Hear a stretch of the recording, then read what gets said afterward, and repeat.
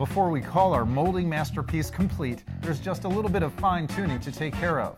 Here are the five top tips to finish off your project.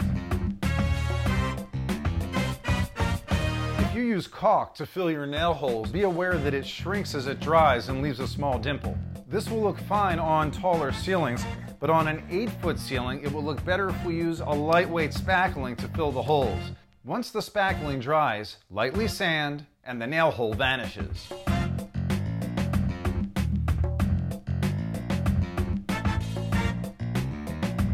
Don't worry about gaps in the molding. They will completely disappear after you do your finish work.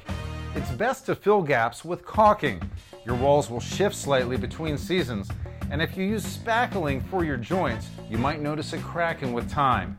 The caulking has enough flexibility for minor shifting and won't crack. Variations with inside corners are easy to hide. Outside corners require a bit more work. For minor variations, you can use sandpaper to smooth out any rough edges.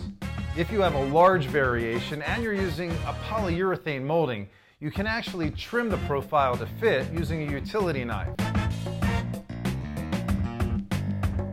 Caulking seams takes a little bit of practice. The most important thing to remember is to cut your tube at about a 30 degree angle.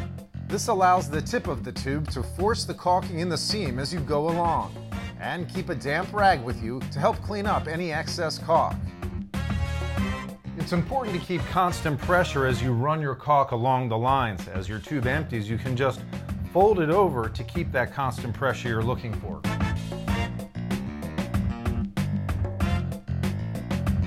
Now before you do any painting, make sure your caulking is good and dry. Then use painter's tape to mask off your walls and ceilings, and then it is time to paint.